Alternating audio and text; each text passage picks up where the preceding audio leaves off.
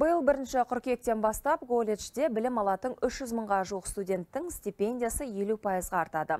Бұл туралы оқу ағарту министрлігі хабарлады. Мәселен, орта буын мамандықтарының студенттері 41896 теңге алса, жұмысшы біліктілігі бар. Студенттер 43574 теңгеге дейін шәкірта қалады. Тағы мемлекеттік тапсырыс бойынша оқитын студенттерге тамақ пен жолақы сияқты әлеуметтік қолдау көрсетіледі